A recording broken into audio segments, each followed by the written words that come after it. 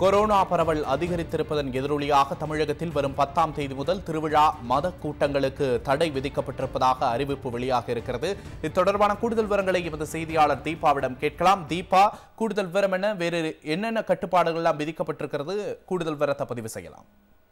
தமிழகத்தை பொறுத்தவரை தற்போது நாலாயிரத்துக்கும் மேற்பட்ட கொரோனா பரவல் கொரோனா நோயால் பாதிக்கப்பட்டவர்கள் அதிகமாக இருக்கிறார்கள். ஒவ்வொரு நாளும் தமிழகத்தில் ஆயிரத்துக்கும் மேற்பட்டவர் வந்து அதிகமாக இருப்பதால் நேற்று பத்திரிகையாளர் தலைமைச் செயலாளருடன் சுகாதாரத்துறை செயலாளர் வந்து மூன்றாம் முறையாக வந்து ஆலோசனை கூட்டம் நடைபெற்றது. இந்த ஆலோசனை பிறகு தற்போது வந்து சில கட்ட கட்டுப்பாடுகள் அதிகப்படுத்தியுள்ளார்கள். குறிப்பாக பார்த்தீர்கள் என்றால் பத்து நாலு ரெண்டாயிரத்தி இருபத்தி ஒன்றாம் தேதி முதல் கோயம்பேடு வணிக வளாகத்தில் செயல்படும் சில்லறை வியாபாரி காய்கறி அங்காடிகள் மற்றும் செயல்பட தடை விதிக்கப்பட்டுள்ளது. அது மட்டுமல்ல மாவட்டங்களில் உள்ள மொத்த வியாபார காய்கறி வ- வளாகங்களில் சில்லறை வியாபார கடைகள் தடை விதிக்கப்படுகிறது. இது ஒன்றும் அடுத்தபடியாக பார்த்தீர்கள் என்றால் நோய் மேலும் வந்து நோய் வந்து அதிகமாக இருப்பதால் நிலை அதாவது பேருந்துகள் குறிப்பாக அதுவும் வந்து சில கட்டுப்பாடுகள் விதிக்கப்பட்டுள்ளது.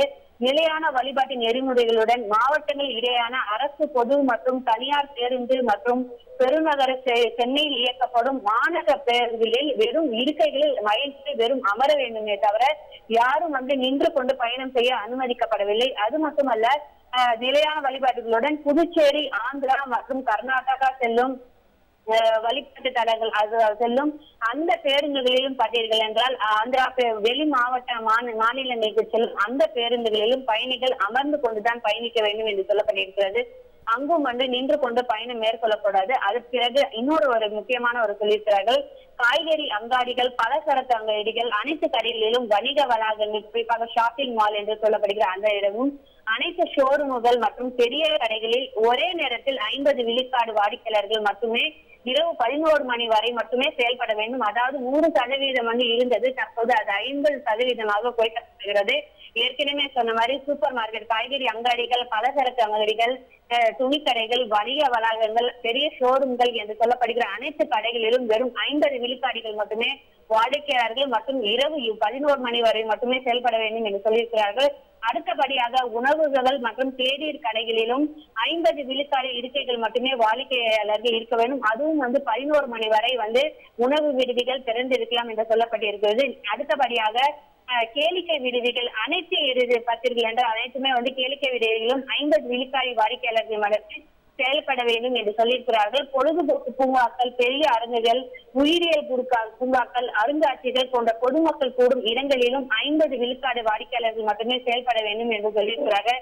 இது போன்ற பல்வேறு இது சொல்லியிருக்காங்க அது மட்டுமல்ல உள் அரங்குகளில் மட்டும் அதிகபட்சமாக இன் இன்னர் ஸ்டேடியம் என்று சொல்லப்படுகின்ற உள் அரங்குகளில் மட்டும் அதிகபட்சமாக இருநூறு நபர்கள் மட்டுமே இங்கு பங்கேற்க வேண்டும். சொல்லப்படுகிறது திருமண நிகழ்வுகள் நூறு நபர்கள் மிகாமல் இறுதி ஊர்வலங்களில் ஐம்பது நபர்கள் மிக மட்டுமே இதில் கலந்து கொள்ள அனுமதிக்கப்படும் என்று சொல்லப்பட்டிருக்கிறது. நீச்சல் குளங்கள் நிலையான வழிபாட்டு நெறிமுறைகளுடன் அது வந்து விளையாட்டு பயிற்சிகளும் மட்டும் செயல்பட அனுமதிக்கப்பட்டிருக்கிறார்கள். அதாவது அது மட்டுமல்ல பொருட்காட்சி அரங்குகள் வர்த்தகங்களுக்கு இடையான செயல்பாடுகள் மட்டும் அனுமதிக்கப்படும். அதாவது பிசினஸ் டு பிசினஸ் அந்த மாதிரியான இது வர்த்தகங்கள் மட்டுமே அனுமதிக்கப்படும் என்று சொல்லியிருக்கிறார்கள். இது முப்பத்தி ஒண்ணு எட்டு ரெண்டாயிரத்தி இருபதிலிருந்து ஏற்கனவே வந்து பல தடைகள் வந்து த- தளரப்பட்டது. ஆனால் தற்போது கொரோனா அதிகமாக இருந்ததால் அஹ், தற்போது வந்து இந்த கட்டுப்பாடுகள் விதிக்கப்பட்டிருக்கிறார்கள். இந்த வழிபாட்டு தலங்கள் இரவு எட்டு மணி வரை அதாவது இது இந்த நெறிமுறையை கடைபடி வழிபாடு தலங்கள் பொதுமக்கள் வழிபாடு இரவு எட்டு மணி வரை அனுமதிக்கப்படும். அதாவது கோயில்கள் ம- பார்த்தீர்கள் என்றால் இரவு எட்டு மணி வரை தான் வந்து அனுமதிக்கப்படும். அதற்கு பிறகு அந்த வழிபாட்டு தலங்களில் திருவிழாக்கள் மற்றும் மதம் சார்ந்த கூட்டங்கள் எதுவுமே வந்து நடத்த அனுமதி இல்லை என்று தற்போது கட்டுப்பாடுகள் வந்து தெரிவித்திருக்கிறார்கள். அது மட்டுமல்ல திரைப்பட தொழிலாளர்கள் படப்பிடிப்பு அனுமதிக்கப்படும். அதுவும் வந்து ஏற்கனவே வந்து வழிபாட்டு நெறிமுறை அதாவது நிலையான வழிபா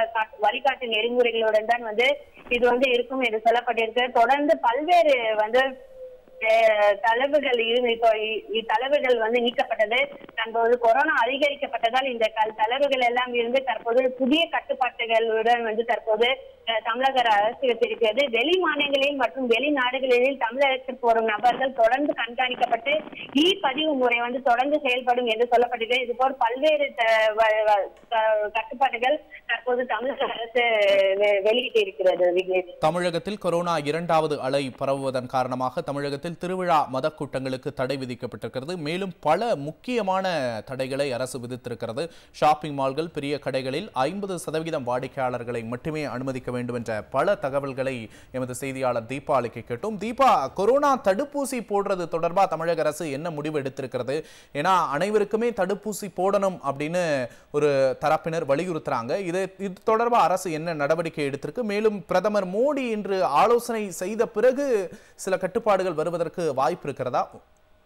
கண்டிப்பாக. அதாவது தடுப்பூசி பொறுத்தவரை வந்து மூன்றாம் தேதி இந்த ஏப்ரல் மூன்றாம் தேதிக்கு முன்பாக பதினெட்டு வயசு அனைவருக்குமே வந்து தடுப்பூசி போடப்படும் என்று சொல்லப்பட்டிருக்கிறது.